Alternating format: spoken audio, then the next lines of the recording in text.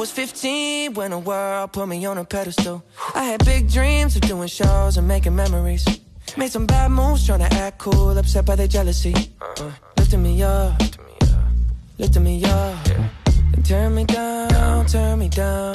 Yeah. I take responsibility for everything I've done. Holding it against me like you're the holy one. I had a chip on my shoulder, had to let it go.